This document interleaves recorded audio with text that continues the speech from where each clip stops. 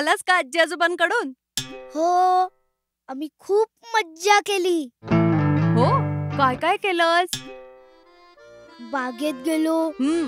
अ, तिथे भेळ खाल्ली आईस्क्रीम खाल्लं. हो? मग मग सिनेमा बघायला गेलो. हम्म. त्यांनी मला मेकॅनो घेतला. बर. शिवाय हम्म. येताना मला पन्नास रुपये दिले खाऊला. हम्म.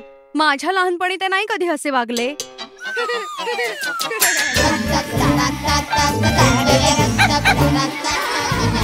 छोटे सी गम्मत